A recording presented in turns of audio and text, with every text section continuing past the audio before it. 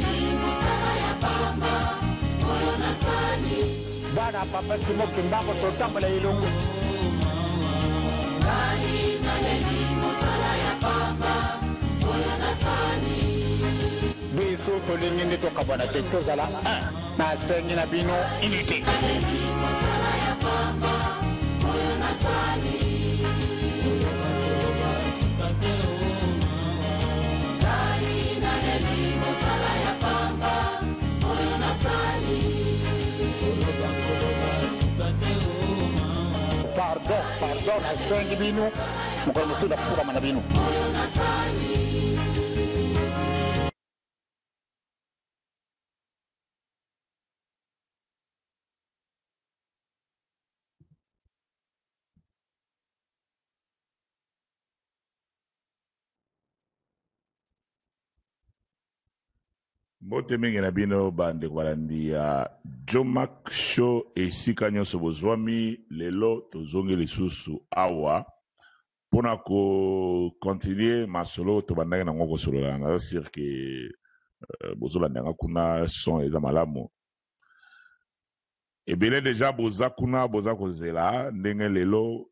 tolobelaka masolo oyo eza kotungisa bana ba Pasi Mukimbangu. Soki peut etre yo okotala yango na YouTube ou bien okotala yango après, yeba ke emission oyo tozosala yango en direct. Tozosala yango en direct, bobanda komona mwa ba pause, bobanda komona mwa kotala mipanzi, Ozo mona bo se preoccuper mingi te po eza ndenge wana toza en direct. Donc tozo sala ngo tozo lekisa ngo direct en direct. Donc bo kanisa te que eza emission oyo tozo filmer yango et puis toko lekisa ngo non eza en direct. Ti tozo leka awa toza en direct. Batu baza na Facebook kuna oyo baza na besoin ya kotuna mituna bako tuna mituna. Donc, lelo tokolobela makambo moko awa très interessant. Tomoni ke musee kuna na Nkamba, musee eza ya kokangama. Mpo na nini musee ekangami? Banani bakomi bato ya mbongo na kati ya eglise Kimbangiste? Liste ya bato wana ezali. Oyo eza liste mobimba, liste ezali. Ebongo na 26 tokomi wapi? Tokomi wapi na 26? Donc biloko wana nyonso bokolanda yango awa mpo tolobi système ya ke sambela kaka nga munoko loba eloko te biloko wana tolobi ke sikoyo fo koloba polele eh, toyebi ke bato ebele batalaka émission yango après mpo balingaka te eh, bato bamona bango ke baza direct yango biso awa lelo tolobi biso tokoloba kaka polele mpo verité eh, ezalaka kaka verité mensonge mpe ezalaka kaka mensonge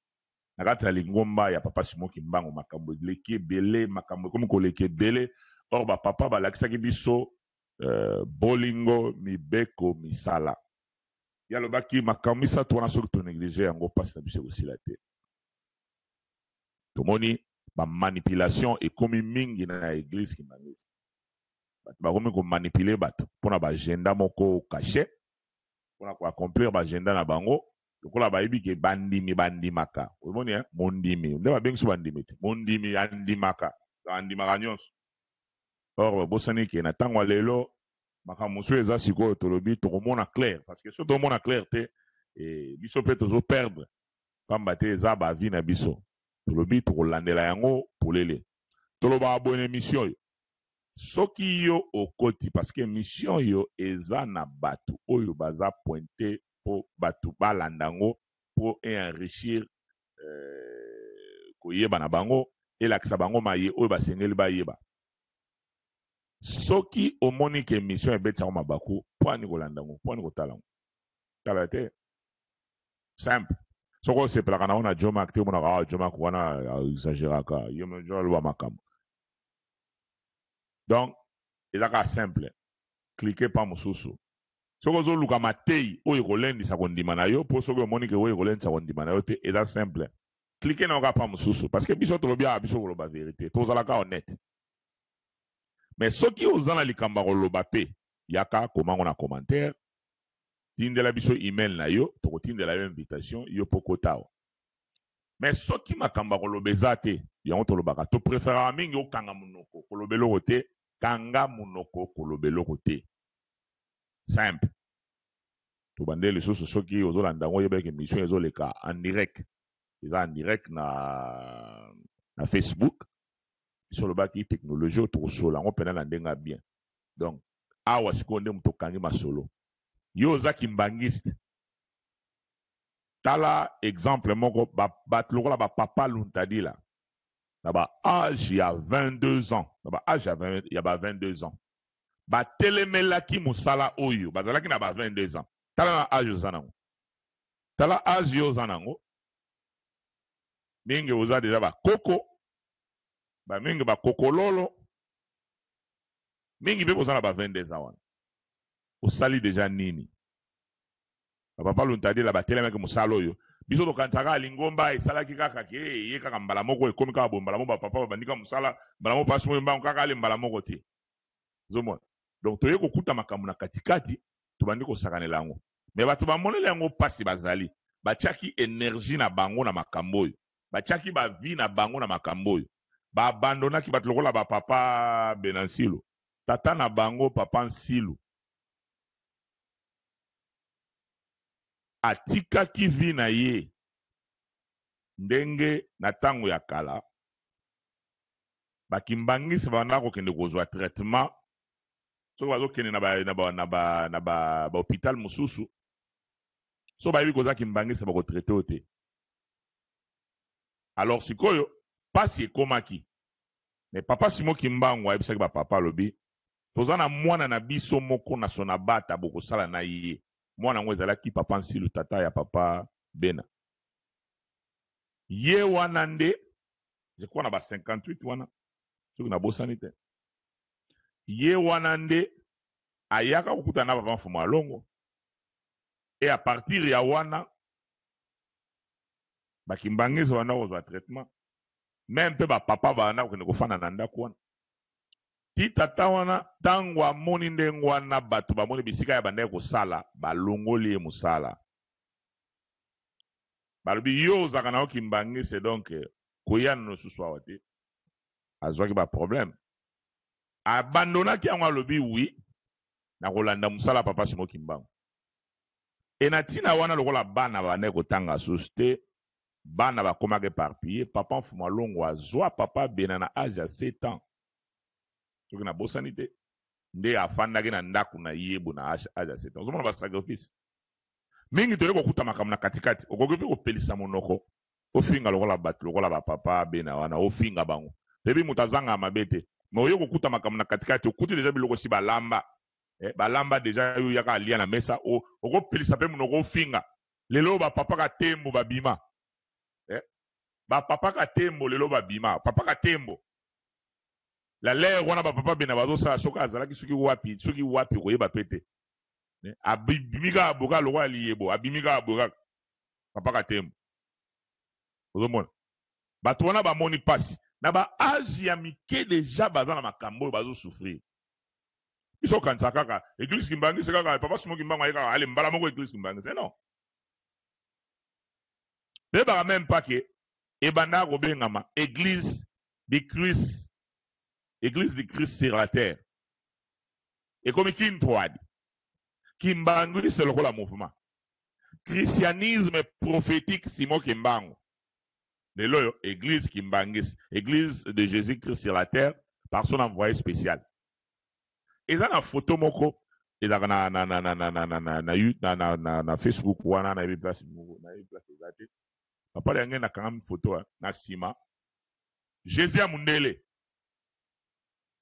ozomona ba etape jesus ya mundele na nsima na biro eh? foto ya jesus ya mundele na nsima ozomona ba etape eglise oyo bato babundela yango bapapa bena bapapa luntadela bamonaka ah mpo na nini bazokanga batata na biso lere wana bazalaki baetudiant bazokanga batata na biso fo totelemela makambo oyo batelemaki lelo oyo yo osalelaka lelo oyo eza oyo batata na basali sikoyo tuna question bongo yo sikoyo Na age oyo oza nango tata ombimba wana obeti cravate ofandi boye pe ofandi naza mbuta ya ngamu naza mbuta awa ngamu naza pasteur elobi nango papa diangenda que pasteur ngai naza pasteur pasteur pasteur osali deja nini so osali nini paroisse oyo batikeli yo est ce que so obakisi ata deux personnes paroisse wana bapesi yo so obakisi ata deux personnes lelo oyo bapasteur bakomi lokola banzambe donc pasteur azomona lokola nzambe ko pasteur okozwa kota ya 3 egal ya 1 kota ya 26 donc omona pasteur azomona lokola nga pasteur donc nga pasteur atie cravate pasteur atie bible libongo na motema nga aza pasteur osi obakisi nini eh? obakisi mpenza nini na makambo oyo obakisi nini na makambo oyo question potuna yango wana biso tolinga biso tozwa bato oyo kutu batikaki bapesi ba famille na bango batikali pauvre ko bazwi rien na nzoto boye bato lokola baba mikala wana bokomona papa modri wakota bakoko ya mamikala mamikala atikeli bango nini soki lelo oko ba riche pena ya eglise oyo me normalement baba mikala ndenge wana eh. bato batongi makambo oyo tokobenga bandoki babundeli makambo oyo sikoyo yo osali nini yo nga mbuta na paster nga na paster nga na pasteur nga na nga moto na mokonzi awa bolingo banga mikonzi te ozobanga mokonzi te osali obakisi nini obakisi nini yo moto ozomona oh, biso makambo ya lingombo oyo toyebi yango zoma nde toyokaki awa na papa sylvain mbote munzila awa bana bapapa ndenge basalaka wana bango eh, balingaka kondima teke biso toyebi lingombo koleka bango ozomona Omoni batu nini papa Simon kimbangu aza na bango affaire yo po ofandi olie mikate na yo na makoso soki ya ngulu tambusa bolia wana pe ngulu na makoso na yo ya ngulu batie na kati ya madesu ale oyo oyoki bien batieli yo koka wana neti boye omoni batieli yo soki koka soki eloko nini omelaka omeli boye ale ozotala jomak na, na ndenge neti ozotala neti ndenge bataka bashow neti kala bashow badona beja wana ozotala ofandi oh yango mwana mobali oyo il parle trop oh alobaka trop mwana mobali oyo ozoyeba te lingomba ezodinda lingomba ezodinda tosala eloko te tosala eloko te ene ezobakisama kaka na bakimbangiste ene eza kobakisama kaka epi mpe bafandi bayokasi baza, baza koanalyze eh. bato wana oyo tobengi bambuta wana oyo ko papa katembo oyo boye bazoanalyze ndenge tokokreye bamibeko moko ekosepare bato yokasi bango baza mayele te bazo ko raisonner kaka babi ah bon omoni separation oyo mpo tokanga mpena nzela bien bon ale oyo oh, male eh, makambo ya mobeko boye bimi okosala boye te obaluka boye ba de makambo ya defile lelo eza te bokosala defile o oh, lelo awa na nkamba kaka bato nyonso na nkamba botalisa kaka na nkamba mpo na makambo ya musée defile eza te eh, kuna oyo kaka mpo na ntinsani boye na boye lelo tokomi wapi ozomona Obaluka kuna na 26 kotira ye ma oh kuna ye alingaka moto ya boye te oh kuna ye ya boye boye te tokomi kaka kowelela onire eloko yango babe babwaki neti omoni nga bazwi baliasa mbongo babwaki boye ale bato nyonso bawelela soko oza makasi ozwi oyo ya yo oke ole donc eh, ozwi mwa parti na yo neti gato moko bo papa sumoyo mbango na bamama moli na bapapa basaleli biso sikoyo ale babwa batiki wana sikoyo monamu taya kozwa oyo ya ye toza suru na intere ya molimo ya bato te Bato oyo batie ba encadrer bato mi interet ya milimo ba te kaka ye alingi azala kaka mokonzi place wana soki ye adumi ba bangi ye ayoki sentiment donc sentiment na ye kaka yango wana tozo sala eloko te bokamwa te ke parmi ba biloko ya minene minene oyo eglise kimbayangisa ezalaka nango eza oyo ba papa batika eza oyo ba papa batika parmi ba biloko ya minene oyo eglise kimbayangisa aza nango eza oyo ba papa batika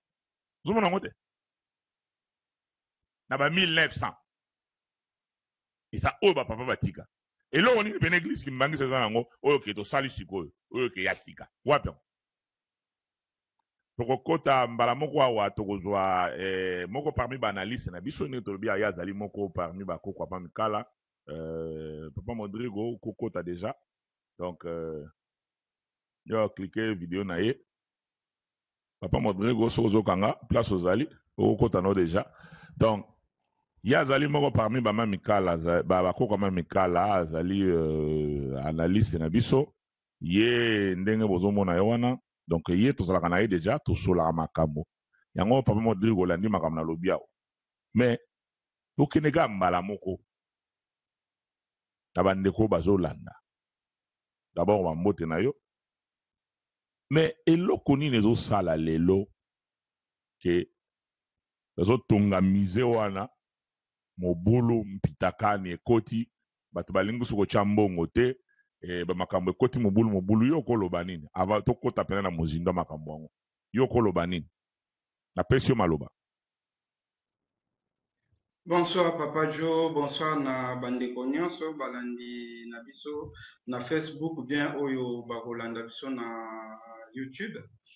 Euh, merci lisusu na mokolo papa apesi biso tomeka kosolola lisusu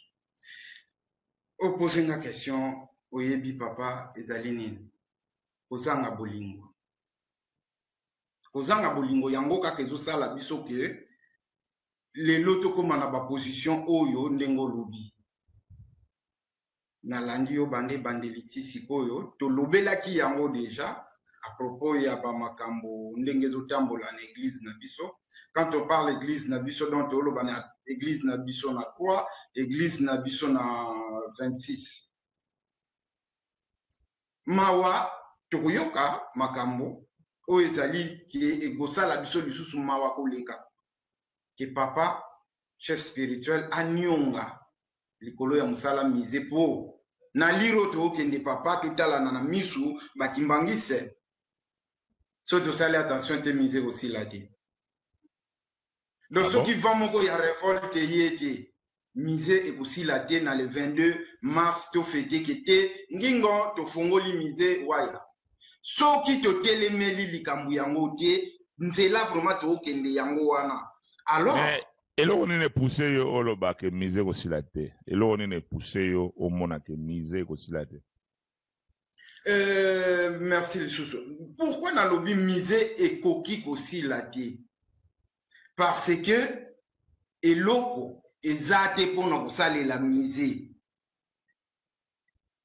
soki babi eloko eza te donc mbongo eza te mpo na kosalela musée ah, mbongo eza te ebongo bantinsani ebongo bantinsani oyo bazosala ebongo bamakambo nyonso oyo bambuta commission basala commission eh, bapastere bazali oyo baza komotive bandimi sikoyo bapastere yango sikoyo mosala bango donc Mais sikoyo ndenge nini bato basalaka bantinsani no bandimi bazosala bantinsani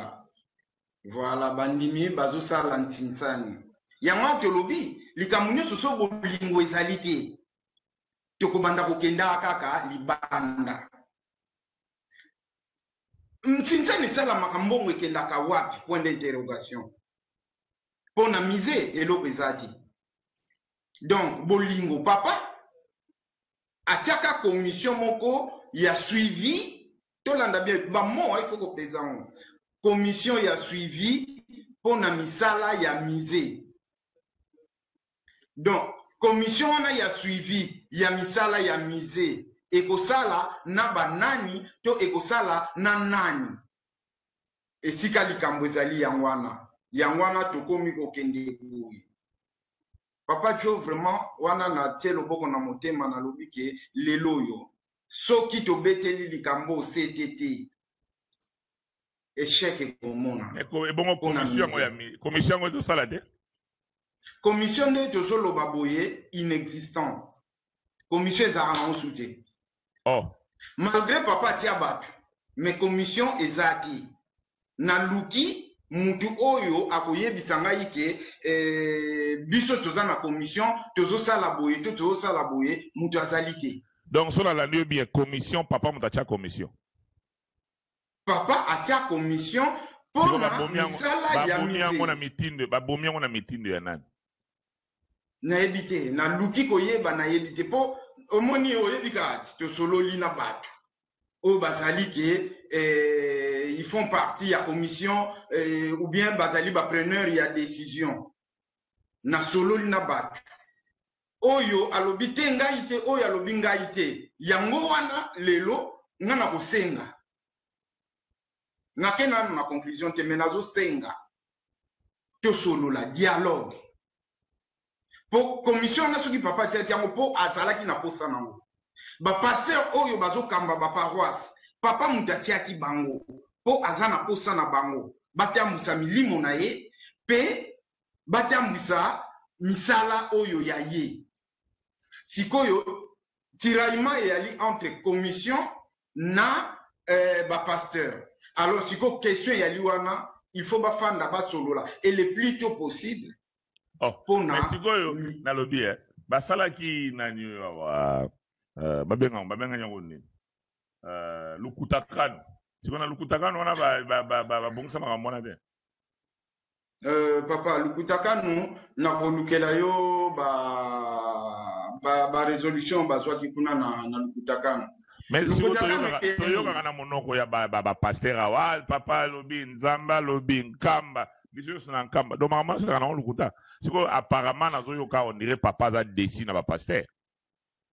mais nabi papa azali dessus ngai na sololi na batu o bali sur place ah bon? bazali pe na voix balobaka batu yango pe basololaka na papa papa alobi papa aza aza dessus papa alobi boye atindi batu o baza sur place kuna oyo bazosalisa misala ya, ya musée sur place alobi euh, bana na ngai nde nali awa je compte plus sur les pasteurs mpo ah na bon? misala oyo bobima botambola oh, bolukela ngai Come on. Donc papa Simon kimbangu kiangani alobi ke azo compte susu na ba pasteur te pona makambo ya musique. Papa Simon kimbangu kiangani alobi boye bana na ngai pour l'instant je compte plus sur les pasteurs pona misala ya musee oyo. To, tosolola bien. Nalobi boye, Papa alobi mpo na misala musee, il compte plus sur les pasteurs. Azwi bato ya commission oyo bazali sur place kuna. Abimisi bango, alobi bokende, botambola. Na benediction na ngai, bolukela nga mutu nionso oyo alingi kotonga Nkamba. amona bino botia kombo na ye bakaye nionso ya batu wana bazala combien boyela nga bakaye wana ngai moko na kosimba yango na kobomba yango bakaye oyo ya batu oyo ba volontaire je dis donc musée eza susu te ke ba paroisse mutu ekotonga ndenge tozalaka na lingomba keke eh, paroisse boye somba kiti paroisse boye te ezalaka nango su bongo te musee ekomi ke ba volontaire batonga yango mpo misala au moins etambola papa jomak euh, nakolakisa yo niveau euh, émission oyo ekoya nakopesa yo bapreuve nakopesa yo bafoto otala musée na lelo toyali na mai euh, 2016 na mai na juin 2018 otala différence eyali wana pas grand chose e bato oyo namonaka bateyaka to balobaka na facebook bato wana papa alobi boye papa alobi boye est ce que vraiment bokoki komobilize bato te ceux qui se disent de 3 égale 1 comment bokoki kotika papa akoma na point atinda neke te boke elukela nga bana na ngai bayela ngai moyen nasilisa mise eza soni yango wana nasololaki nasololi na bato mpenza meme na batambulisi ya awa le plus tôt possible bato bamiyebi ke bana commission soki bandimeli ngai te babengi nkamba puiske baa na moya kobenga nkamba bakoyoka oyo ngai nalobi babengi nkamba basolola na papa mpo balobake papa pardon hein? tokoyokana na batambwisi na biso donc bapasteur ya baparoise tosolola ndenge nini tokoki kosala mpo na tosala mosala oyo yo opesi biso papa jo musée wana so esili te mawa trop mawa trop tokosuka wapi vraiment kaka babenediction nta mosusu elingi koya nta mosusu mpe mwa réconciliation elingaki koya kaka apres musée wana mpo musée babombaka makambo oyo ya kala te eh? alors tonga tozwa mabe na biso nyonso oyo tomisalaki tobombi na musée ale tobandi bolingo ya sika maintenant les gens ne voient pas ça nga nayebi bandimi awa nasololaka na bandimi ya awa oyo ya tro egal 1 olobi na bango ke me ndenge nini abia ah, ngai soki ntinsani balobi ka ya mise napesa asusu te na banda akende ntango bandaki kosala yango na, na, na, na commission kuna me totala mpe bien commission wana au moins papa moto atiaki yango oui mais commission wana bazodépendre mpe na bapasteur oyo bali sur place mpo bayaya wana bapasteur wana nayebisa yo ke baza na un mot adie donc fo basolola bafanda le plus tôt possible bafanda bapasteur ya eglise kimbanguiste Euh, tendance nini 3 egal 1 nalingaka kokabula yango te mais bon bref ya tendance ya 3 egal 1 na bato ya commission bofanda bosolola tosala mosala ya papa simo kimbangu mpo bozali wana non seulement bosala mosala papa simo kimbangu mais boyaki mpe mpo bobikisa milimo na bino nasololaki na moko ya batambwisi vraiment agire ngai loboko na motema alobi ke nazali prêt biro na ngai ezali ya kofongwama meme ndako na ngai ezali ya kofongwama moto ya commission o oh, moto nini alingi koyoka makambo oyo alingi komona bapreuve aya ngai moko na kokende na komona me bato ya commission s'il vous plaît mabe ezangaka te esika bato bafandaka bofanda esika moko na bapasteur bosolola bosolola mpo oyo ezali kaka ke toyoka neti a ah, te e, oyo alobi boye pasteur alobi boye bato ya commission balobi te wana yango su te todepase etape wana bozala bavrai yaya mpenza bokende bosolola tete a tete bo biso omoni ke papa abeleli papa abeleli na bandeli yango lisusu papa alobi eh, na bato oyo batambwisa misala kuna babi je compte plus sur les pasteurs mpona kosalisa mosala oyo mawa na soni papa nionga ndenge wana or jo wana soki azonionga ezalaka elengi mingi te mpona biso ye kaka te meme na 26 Désolé na lobango lelo mais na mona sous clair te dourda on dirait bougera pe te. Or ba papa bazo loba baza ko lela baza ko ko ko loba er nyoso mukoni to ko telemela makambo wana. Donc ba mbuta bo solola bien. mpo na misala na biso etambola. Papa Marteau alobaki bolingi tokende na, na, na, na, na, na, na kofongola misala oyo bazosala kuna na, na lwanda na centenaire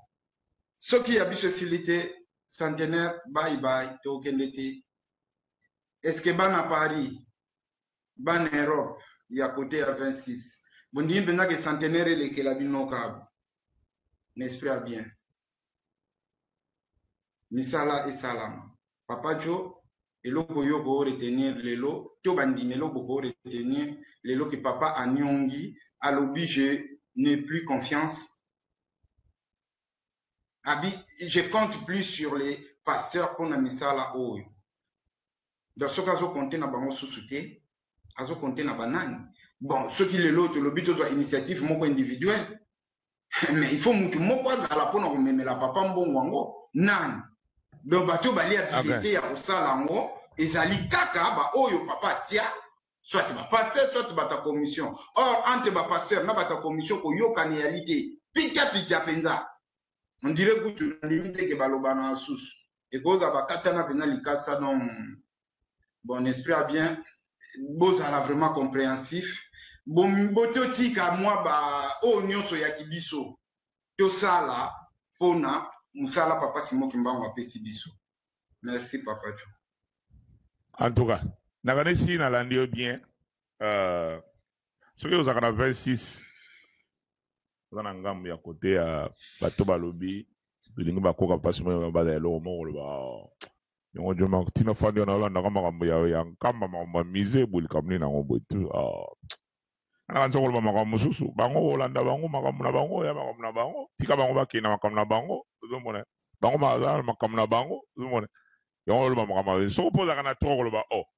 Est-ce makambo ya 20 six etali makambo ya musee etali bino? Botika papa Simon nini muluba akomaki kuna. Papa Simon Kimbangu Kiangani akolonga. Papa Simon Kimbangu Kiangani akolonga. Makambo ya musee botika koloba makambo ya musee akolonga. Landa bien. Omone nabi landa bien siko landa nga bien. Ena kota siko na zone wana. Landa bien. Omoni mambo ya lingomba oyo basantima eleki mingi ndenge basantima eleki mingi olandi papa modrigo ya bien soki oza na 26 okolobaka oh, biso kuna ah, omoni bango kuna ebebeli bango te ebayaki ekobebela bango eske otali autour na yo kotala na lingomba mbimba 26 tala kaka autour na yo chorale bandaka na paroisse place ofandaka boza bien kota susu na chorale na yo eske boza bien soki otali mpenza bien otangi na kati ya baligne donc lire entre les lignes otangi na kati ya baligne okomona image moko eza wana image wana ekozala image mosusu te ya moto mosusu te ya yo moko wana ezolakisa yo ndenge nini oyo tozali toza bahypocrite moni misapi eza susu misapi egumbami sikoyo soki oza na 26 omonaka misapi ah moi tya su tout boye eza te komi ezogumbama soko mpena oza honnête lelo totala bapaster oyo bana 3 egala 1 wana baza bamonstre moko kreye kaka kuna kaka na nkamba bamonstre wana lelo bakomi bamonstre bamonstre wana baza kaka kreye kuna na, na, na, na 3 nkamba kaka ekreye bamonstre wana ozomona yango tozala koloba na bino de eza passage oblige papa simon kimbangu kiangani ba première message na ye alobaki nini soki bosepare biso boza koluka echec mpo na biso sikoyo soki ozalaka na 3 ozalaka na 26 tuna question est ce que echec ezomonana bi ezomonana te yo ondimi mpenza na 2017 Na nombre ya ba kimbanguiste ba na mokili mobimba ndaku wana kaka lokola musee balemba na ngo musee kaka balemba na ngo oza sur? Na nombre ya ba kimbanguiste kaka tozali awa soki kimbanguiste moko apesi kaka un dollar un dollar un dollar soki boza minimum kaka tolobi ata ya 10 millions de kimbanguiste toza plus de 20 millions ekozala ndenge nini? Sans compter ya Vinicius parce que toloba batu presque ebele baza na cote ya trois kuna. Ekozala ekozala ndeni? Ekozala ndenge nini? Yo mtu akana trois. Ah, papa simoki mbongo ni molimo santu ya falonga ya kolonga yebo et tout ça. Mais aprometaki yango bien. Alobaki yango bien que soki soki bo séparer biso échec ezali. Botala extrait na ye moko awa papa Simon Kimbangu Kiangani tango alobaki yango. Parce que ba makambo mosusu mingi tozo tala lelo tozo kanisa kaka on dirait mokili ebandaki lobi. Ozo mona eh? tozo yeba te touti wapi.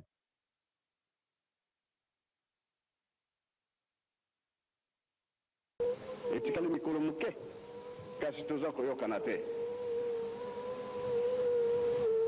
Est ce que dirigeant aza kimbanguiste te? Jeteki aza kimbanguiste te? Koreki aza kimbanguiste te? Mais pona nini toza koyokana te?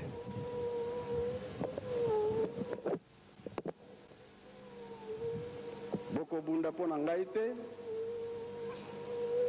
bokobunda mpo na papa Firmin te, bobunda te mpo na papa Charles, tozali mutu moko. Toyokani eh? Likambo wana tobongisa yango bien. po soki totali na mokili ya poto ba ndeko na nga baza ko souffrir mingi ba rapport ya ndenge na ndenge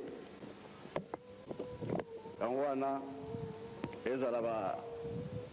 bakonzi ya faki pied gauche papa mambu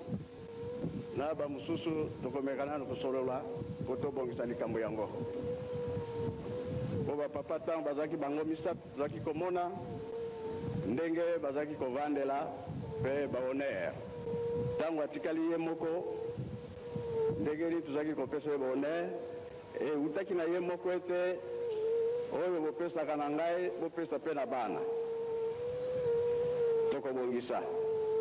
po ba ndeko baza ko souffrir mingi na mokili ya poto, soki bopesi ngai respect bopesa pe ba ndeko na ngai. Bopesi bandeko na ngai, bopesi pe ngai. Eza bongo te eh?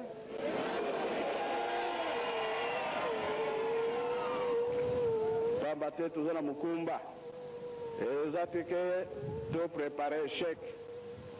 Soki to preparer echec, ekozala na biso pasi.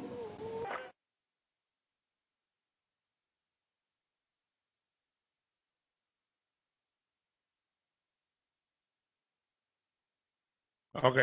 nakanisi bolandi wana boyoki papa alobi toza na mokumba eza te toprepare echec soki toprepare echec ekozala mpasi sikoyo totala nanu makambo ezosalama sikoyo eske echec ezali ou bien echec ezali te eloko nini mpena ezosalama Nde nalobaka lelo nionso, totala parmi ba biloko oyo ya minene minene oyo eglise kimbanguiste eza nango, parmi ba biloko wana tokomona ke nionso la plupart eza oyo ba papa batiki. Oyo biso tozosala, tozosala yango kaka boye boye kaka puis tozolia espace ya pamba. Toza kolia espace ya pamba. Tozosala kaka ba biloko moko ya ndenge wana ndenge wana ndenge wana kaka. Kala mingi te namonaki awa photo moko awa eh, batongi bapayote ya sika bainogire mpe basali mpe baomona mpe bien omona basali bapayote donc soki combien de payote wana bainogire babeti yango vert blanc ozomona yango bien na 2017 ozomona place wana ele espace nalakisa bino euh, nini nao foto yango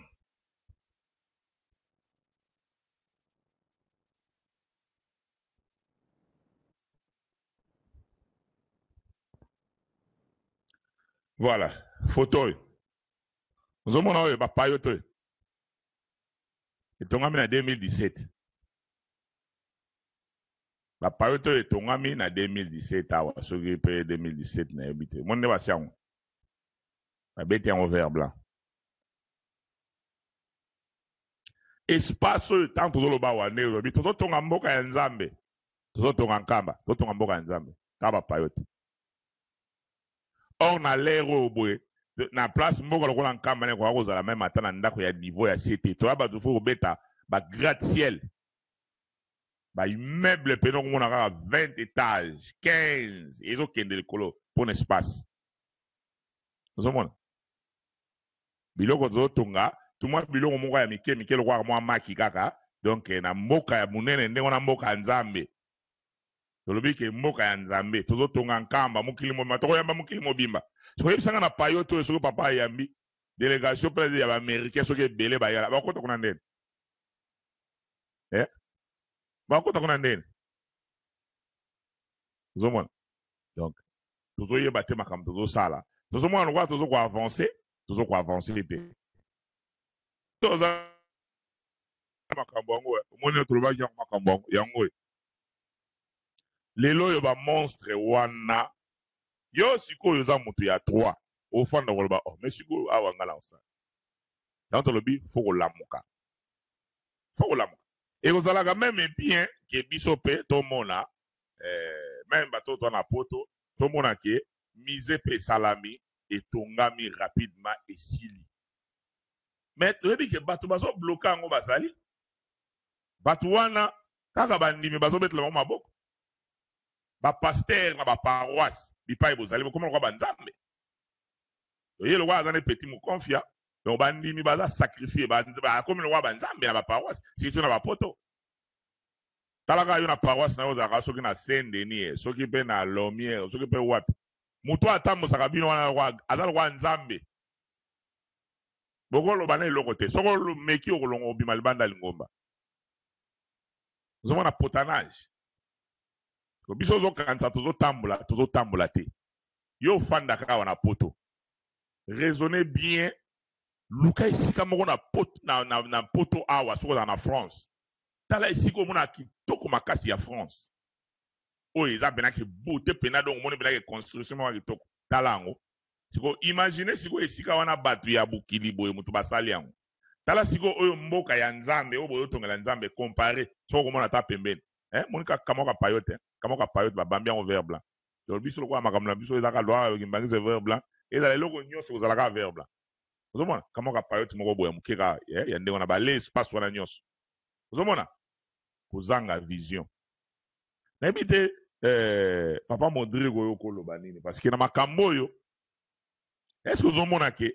eza foti ya batambusi ba obi eza foti mpe ya bandimi parce que bamikoti na systeme asambelaka kanga monoko loba eloko te si bandimi sikoyo fo basani parce que bango bazo tambusa bango balakisi biso pe ezaleli ya ke koloba eloko te tout ça donc ezala kaka tout ça eh? yoka kaka makambo bazoloba yo tya kaka ntinsani koloba eloko te kanga kaka monoko e sikoyo batambwisi yango bakomi lokola banzambe bazosala makambo ndenge ya bango balingi sikoyo yo mpena okoloba nini na place wana Merci lisou papa Joe. Oyebi euh, natali video ya papa mais na réponse na yo yali nini?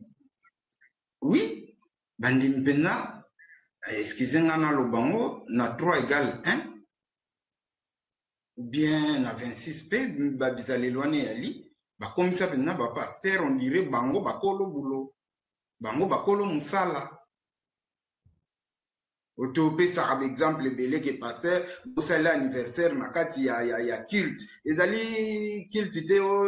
soirée te dimanche mpenza bobeteli ye ndule nini mpo kaka anniversaire na ye sikoyo ya papa simoki mbango bokosala nini non ya kolo yesu ku bobike te bokodefile te parce que tozotonga nkamba nkamba yango tootonga miza te eloko ya te te bandimi nde bandimi tala papa bialungana alobi tala so baalakisa mayele zala mpe na oyo ya yoko bandimi tozala mpe na mayele na biso te pase pasere akumbela donc yo olobi te bandimi oyo bazali ndenge wana bana baintere na bapasteur wana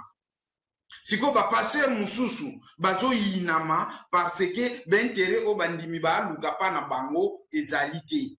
to akangi robinet bandimi bandimi ah oui kombo yango yali mondimi donc fo ndimaka tu non fozala na mayele oyo ya yo sikoyo tokolanda nani tokolanda nani lelo nde toali boye tokolanda oyo ewuti likolo te oyo ewuti na bango tu 26 yango tokosalela donc oyo sikoyo toloba mpe polele awa mpe toloba mpe polele tokolanda oyo euti likolo likolo yango mpe eza na desordre ozomona yango teke likolo mpe eza na desordre likolo eza na desordre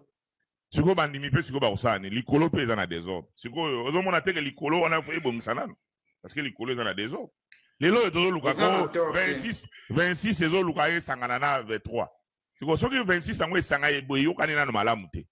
ndenge bokonaluka bosangana na bato kuna nano boyokani bino moko te boza nano na bapotanage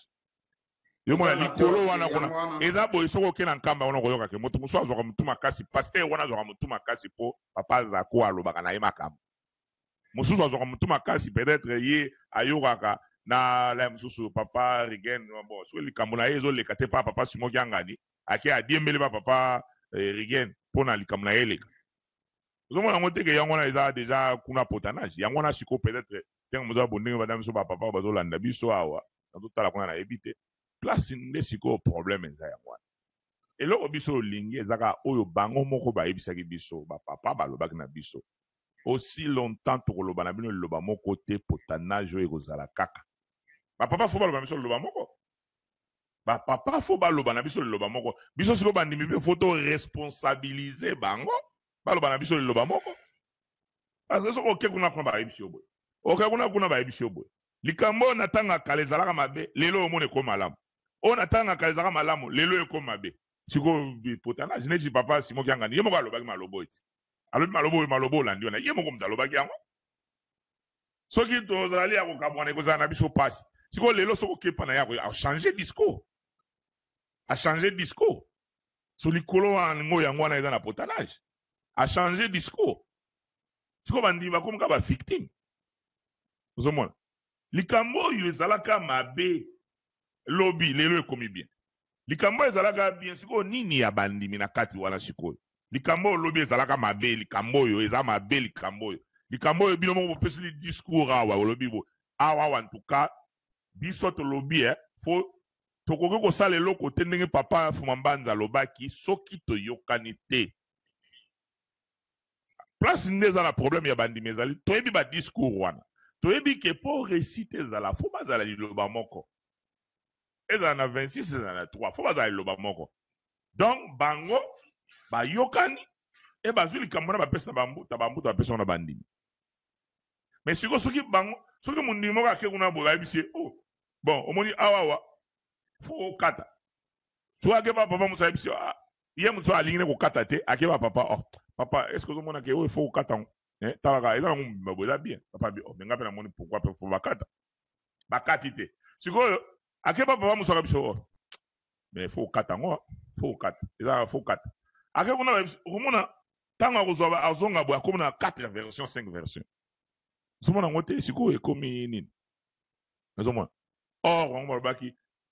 Ba mbuta pe ba pasteurs si ba comprendre jeu wana, bango pe ba koti kaka na rythme wana. Omoni aza na paroisse na ye, soki ba lobi na ye likambu oyo ezalaka bien te, ye sikoyo aza na papa na ye oyo ayebisaki ye likambu oyo eza bien. Ozo mona? Aza na papa na ye oyo ayebisaki ye likambu wana ezalaka bien. Meme si boyebi ke na tanga kala likambu ena mabe, ye ako zwa mutu makasi po ayebi ke likambu wana aza na papa moko alobaki na ye ezalaka bien. Ko simba kuna te. ntango bokobimisela ye miso awa kuna kosimba te papa sa alobi kosimba te papa sa alobi yo yo ozoloba nini yo oyebi te ngai natunaki deja papa hein? azwi motu makasi oye baluka bo papa mosusu amoni mpe ah, soki alingi aloba amoni eh, ndeko naza na kati atiki kaka ndeko yango makambo ezosala bakibangisi mpasi lelo tala makambo ya nkamba ndenge ezalaki makambo ya 3 egala 1 na nkamba Batu ya trois egal a un na Angola baza kobunda. Baza kobunda batu naza na audio awa naza na ba audio nionso wana ezali awa. Baza kobunda batu ya ya nani. Ndenge baza kobunda sikoyo bango moyen ba communiquer na papa eza te. Sikoyo papa Zako aza na mutu na na papa pasteur wana oyo ya libumu munene wana papa nani oyo papa pasteur oyo nani oyo oyo oyo azokanisa ondika akobundisa ba polo wana nkombo nani oyo soki dani ye abimisi makasi mpo na nini papa azako abi na ye oyo nyonso akolanda yo te kuna ye neya te mpo na nini aza na banzunzu azokende kota babiro soki akoti na babiro aza eh, nsinsani ale basombe biloko batondisa na motuka baza na bezoka ya moto moko ya nzunzu ezala oza na ovoyu etali bango te mpo na papa alukaka moto moko ya nzunzu oyo aza nzunzu tala makambo oyo se ebebi na yango makambo eglise kimbangiso se ebebi na yango ekomi kaka ke zala na nzunzu ozwa oyo ya yo biso aussi longtemps tozo vivre na tolingi mpe tozwa oyo ya biso ti oza kuna na ngola pa paul mpo omekokaya makambo kuna zala na nzunzu kota kota babiro yo mpe kota babiro okomona kuna soki papa paul ake na wis ye mpe kuna ake na nsima ake mpe asali demarche na wis siko tata paster wana Asala eloko moko que alingi ko tonga te bisika batu ba sambelaka quand meme paroisse na bango yango wana tata kutu alobi ko tonga nkamba yango nde to mama mamizi awa yo na ndaku na yo moko nanu ozo lala na mabele ozo kende na ko tonga ndaku kuna ya mutu mususu mais non faut mua mua organisation ezala balobi bo to sala ba toilette parce que balobi ba mama dimanche ndenge toyebi makambo na biso eglise ba mama okomona bazo sala ba, ba besoin na libanda ka na balabala ndenge wana yango balobaki totonga ata ba toilettes ba jeunes ba pousser batonga ba toilettes sikoyo tata pasteur oyo abandi kosalisa mosala ba toilettes ye papa dani wana représentant alongoli ye ba jeunes batombokaki esali confusion sikoyo tali place nini problème ezali sikoyo ba jeunes oyo balingi mosala esalama bazo communiquer plus na papa rigen ba ye sikoyo pasteur azo communiquer na ba papa zako kuna azoyebisa bango tala bo bazobundisa ngai banini tout ça siko ba gens oyo ba explique makambo na bango na papa regen ba dimanche oyo abengisaki abebe lelo eglise ekosalama eglise moko general ba jeune babengi papa papa bol bino mpe mpa na bino kuna mbunda fo ebetama faki fo ebeta tout ça fo esalama ozomona deux version sikoyo bango représentant abengisi bato kuna kote oyo bango mpe batikali basalisi mpe nini parce que bazosolola mpe na papa ozomona bazosolola mpe na papa baza en contact na papa papa représentant aza depute moto ya mayele depute ake na nkamba bamenasa ye mpo na nini bato ya spc baye balobi oyo oh, yo ndenge oza boye eh, fo bima balobi oyo oh, nyonso akozala na kimbangi ya nani ya dani te fo abima yo oza na kimbangi ya dani kimbangi ya dani tala tata mobimba ndenge wana kutu mwasi na ye akufi mpo na shoko ya makambo wana Tata mobimba ndenge wana tata mobimba depute mutu ya mayele ba bengani ye na nkamba pona nini aza na kimbangue ya nini te parce que alingaki ye pe akende apesa pe version ya batu oyo ba ke ko funda na la police pasteur wana representant ake azo abundisa ba jeune afundi bango na la police alobi papa Paul azo tinda bango apesi bango ba arme po ba boma ngai bango ba ke na la police ko repondre balobi eza lokuta Tango nionso soki aya alobaka makambo ya papa, makambo ya papa. Omoni? Pona nini? Ye batindi ye. Ba papa kuna batindi ye ke kende kuna ndenge eza bozala kaka nzunzu. Pona beso tolela biso ba logique ya pam pam bango milimo ya batu. Non, zala kaka nzunzu. Na cafouillage wana tozwa pe ata mua quelque chose. Parce que crise eza mingi kote oyo. Il faut nkamba elia. Yo kuna kende tia moto bakata. Zala nzunzu. Yango bomonaki ye? Soki ba invite ba Paul na stade, ye pe aye kuna, azosala pe demarche na ye. aye wana pe aza pe pomba ozo mona donc nionso wana sikoyo lelo tokomi na potanage tokomi na ngobo ozo mona lelo tokomi na potanage tokomi na ngobo likambo boye okoloba boye kuna ba ba changer okoloba boye okona hey, yo kuma kela ke keba boye biso ozo sala show awa tozo loba makambo ya batu ya vitri awa bandeko ya vitri ndenge tolobaki ke ba biloko eza malamu te ya ba separation ba nini tout ça batu bazali na Belgique, na France, na soki wapi. Ba mitu moko ezali oyo ezo oyo ezo kotia ba ba ba ba songi songi ya mabe. Oh Djomack bino bozo kenda kota show na boye ba ke nga na so na soli kuna balobi boye. Oh bino bozo kenda ka balobi boye. Ozo mona songi songi wana. Siko biso pe oyo yo oteleme likambo ya solo ozo banga okomi lokola kamwa ka mwana moke na biba papa luntadila ya 22 ans ba telemi yango contre mindele balobi lingomba fue emona na libanda. Ozo mona Leur pe meme ba pesaki ordre wana ya ko sambela ezalaki nde na Kinshasa mais bango balobi alle ba na influence wana kaka balobi alle partout lingomba eza reconi lelo oyo biso oyo tozo sambela yo sikoyo soki mwa likambo ke ozo ozo banga banga yango na epa yo jeune kimbangiso ozali faut ko decide soki likambo ya malamu te telemela yango Soki tata pasteur ake mabe mbuta na yo na nini ake mabe boyebisi ye ke awawa esalamaka boye te awawa na bolingo nyonso soki likambo wana bomona yango eza likambo mabe ekobebisa milimo ya bato kopuya yango te kopuya yango te ozomona toza kaka kesambelaka akanga monoko loba eloko te sambelaka akanga monoko yango tolakolonakoloba awa sikoyo ezolobaka omoni fo batosa likolo basi likolo likolo sikoyo Ebaluki na yango ekomi lobi ezalaki malamu lelo eza mabe makambo oyo nioso eza malamu wana kasi yango balobaka public te oyo nga na solaki boye bayebisi nga boye siko nde bayebiso pwani bakoloba yango public te po batu nioso pe bazwa yango biso nioso bayoka yango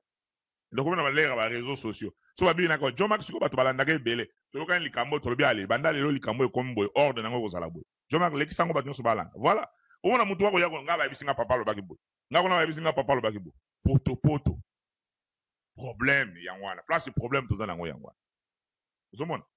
desordre wana moto nyonso ayebi yango place azali oke na nkamba oke koto donc ba problème na ba problème alors sikoyo nayebi te papa eh,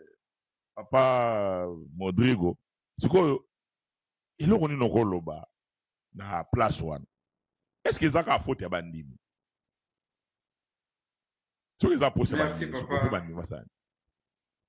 merci papa jo euh, omoni likambo toyo toloba oyo eza mbeli ya minu mibale koto ekataka koto mpe ekataka deja un papa ya lungano alobi na biso ha vouta longwa eh, ngangu wanuka eza donc soki balakisi yo mayele yo mpe zala na oyo ya yo wana 1 et de 2 omoni soyi papa so otelemi obwaki soyi likolo ekozongela kaka yo moko donc makambo bakimbangiste tozosala yango wana totala ndako ya moninga ah, kuna ezozika 26 na to ekoma ndenge wana ah, kuna ezozika bango mpe kuna baamona mpa na bino ezozika siko nini ezali wana ifo kaka bolingo kosama papa firmin mpe asona alobaka likambo moko ezalaka kaka valable na moto moko te c'est pour tout le monde abi tant que nazo koloba oye alobaki tant que papa simon akorespecte makambo oyo bapapa na bango balingaki te baokende kaka de bétise en bétise c'est pareil pour tout le monde lelo tala exemple opesi biso mpo na angola papa oyo apesi mibeko oyo mpe apesi mibeko donk elingi koloba nini basololaka te mpo soki papa zako na papa rigen par exemple soki basololaka papa rigen soki ayoki likamoko angola babenge boye aye papa eh, zako nayoki boye yo mondeni tosala nini bakangi likambo balobi eloko basengaka tosengaka to bapapa basengaka na bapapa oyo tozali na bango yango wana ke bozala esika moko avant bo decider likambo mais sikoyo lokola eyali mwana mwana abendana mutu na mutu na kote na ye ezozwa te ezozwa te oyebi toolelaka mambo ba musée ezosila te ezosila te mais nyonso wana ça fait partie yango na bi ezali mbeli ya mino mibale papa azolela ah musée ezosila te ah, mais soki ofandaki papa mpenza avec tous les respects papa eh, soki ofandaki na bandeko na yo nyonso mise eza dada ti mise wana elinga azala ndako ya dignité elinga azala mpenza grand bord donc bakimbangiste papa napesi exemple olobaki likambo ya vitri tomonaki le 1er janvier paroisse moko esalami soit disant paroisse wana bolingo mais lokola filme wana olobaki si totala yango tomonaki hmm, makambo oyo ekende mpenza ndenge wana te parce que eloko nepesa biso mayele balobaka mokati mbila bakati mbila oyo bamataka na ntongo bango bapesaka baoyo bayaka na nsima na pokwa mayele mpo mokati mbila wana mati soki akwei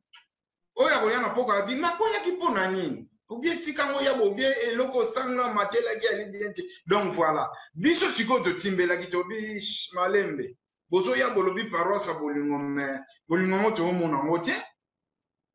me papa 5 mois après bolingo ebandi kozonga alors mutu moko akomi awa tout à l'heure alobi maloba kitoko oyo tozoloba akomi na facebook jérémie kukiele ah mfumu mokonzi papa simon kimbangu kiangani quel beau message je me demande où sont passés ces beaux messages avant la crise passagère qui entra en octobre 2002 bamessage ya kitoko wana ezalaki ezali wapi oyo ezalaki avant crise oyo parce que crise oyo eye ebukibuki banino ngai lelo verité na ebisoko napesaka bata mosusu bapasteur wana foti te parce que toza banaïf biso bandimi ba soki bandimi wana kivanter te kwa soki bandimi wana mpenza baabule neti ngai na yo bien na bato tozalaka na, na, na, na, na, na, na, na, na sa nzete tolobaka ke non stop awa mpenza yango te ah, histoire ota mosusu ezali boye te bolingo ya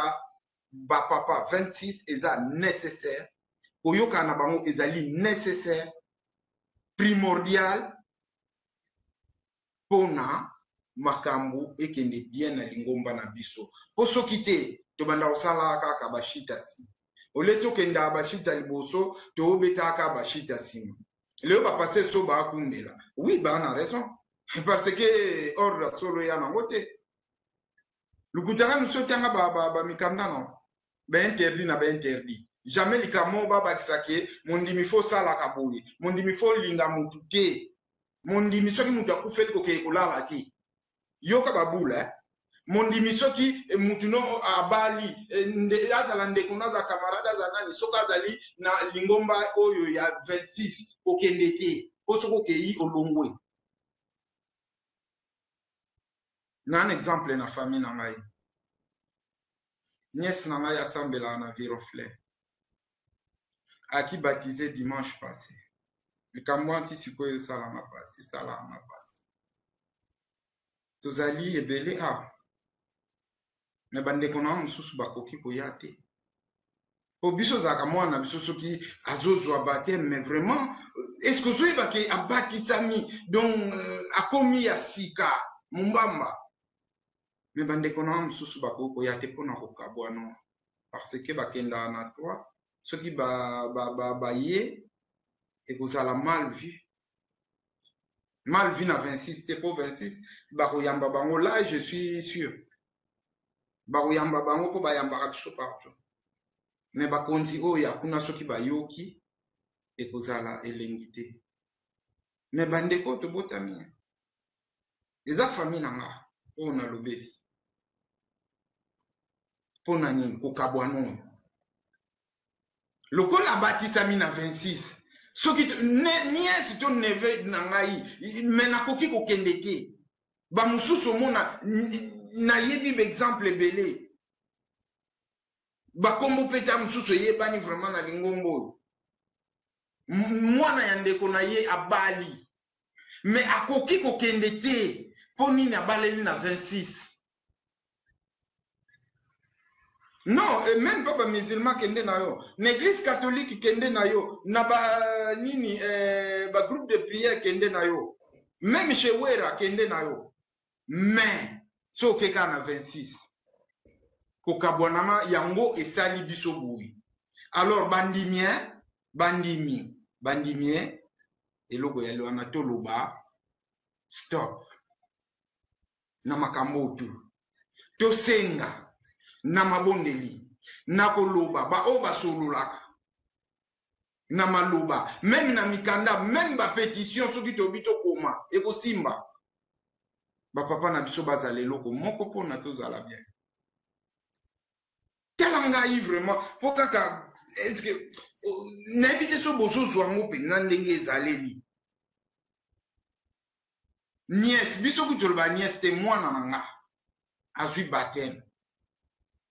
mais mpo babatisi ye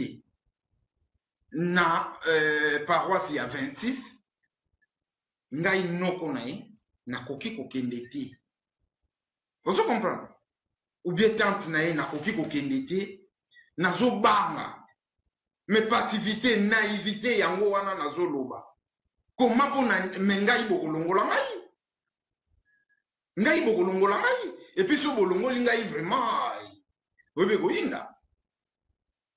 mais oui papa motoyo mambo ozoloba mambo ozoloba oyo nakanisi eza exemple mpo na koloba kolakisa mpenza esika nde toza epuis tokolobaka kaka mise mise mise soki esik nzambe azalaka te esika bolingo ezangi nzambe azalaka kuna te esika bolingo ezangi nzambe azalaka te yango wana après baanalyste bato oyo batali batali babie eh,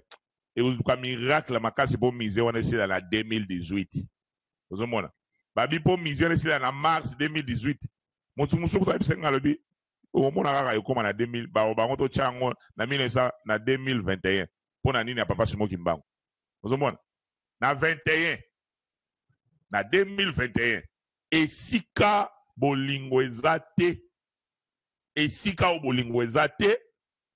nzambe azalaka esika wana te oyo totala yango na ndenge nalobaka kaka papa martorel diangenda alobaki yango ke ku ya satan eza te ke aboma eglise kimbangiste eza abotola yango etambola na ndenge na ye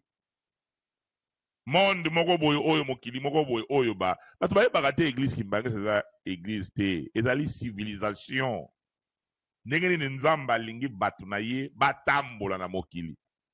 ozomona alors sikoyo awa satan atali yanga mm,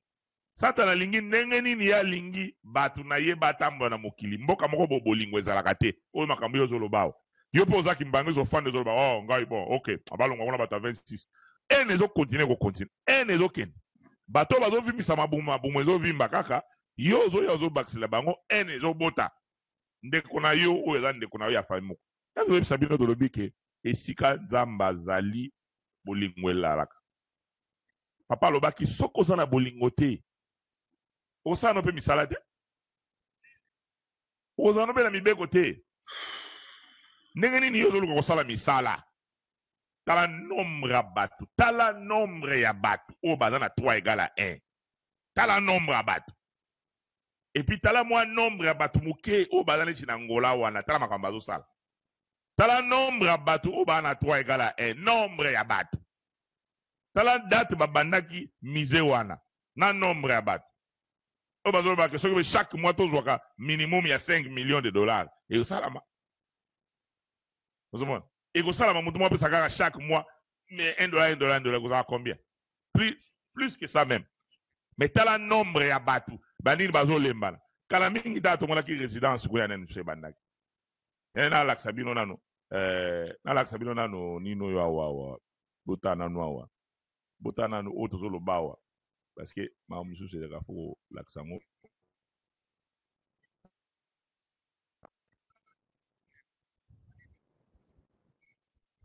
oyo bomoni oyo immeuble oyo ozomona nde tolobaki kuna na nkamba bazosala tumatu biloko ezozwa espace lokola tumatu mayebo bazo lona tuma tuma yebo pona ko boma misu ya ba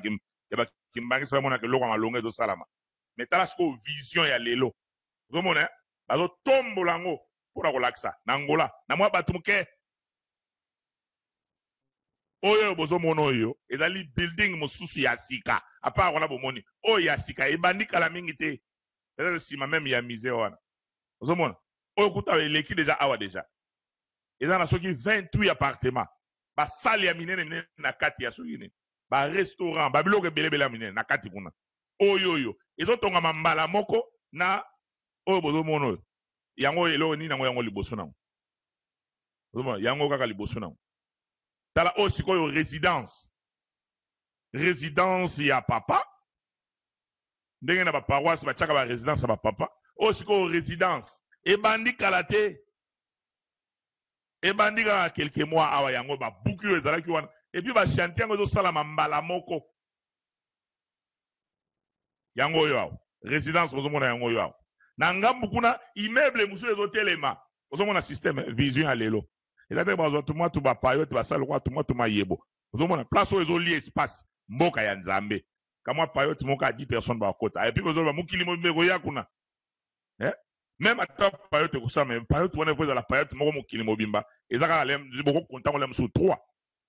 se bolobi ke mboka nzambe ozomona bolobi ke mboka nzambe ozomona oyo susu nini yango yango oyo tala oyo ndako na trois etage ozomona donc mpona koloba makambo oyo ezosalama lelo Mingi tozo yeba te ba bi esika bolingo eza te ba chantier oyo nga na lakisi bino oyo bomoni oyo eza kutu muke eza kutu muke ba eza na nasa baza na 10 chantier et 10 chantier wana ezo tongama mbala moko nazo loba mbala moko pona 2018 mbala moko soki oke na Angola otuni moto oyo akendaka na Angola akoyebisa yo ke crise moko eza na Angola me na kati ya crise wana Nde toyembaka na nzembo moko na bosani oyo babaka eh, na kati ya na kati ya pasi na bino nde esika na kotalela bino. Ozomona, ozomona mpo na nini bato wana bayoki liloba ya Nzambe, bandimi yango, bateyami na Molimo, bayebi eloko nini esengeli basala. Ozomona, donc avant to develope nalingi bolanda na nzembo parce que bomona lingomba na biso eza lingomba ya molimo ndenge molimo ezali ya ntango mosusu soki mpasi ezali totyaka mabondeli makasi mpo pai tokomi tokokoma mabe koleka omoni makambo papa nani eh, modrigo alobi awa tozo kokontinue kokoma toujours mabe mitema ezokoma toujours mabe bafamille ezokabwana bambuto bafandi bazodesine mwa bazosala ti bafandi na bazotala balobi bon Omoni mobeko oyo sikoyo omoni ndenge bazalaka wana eh, bato ya 26 balinga mingi bakoma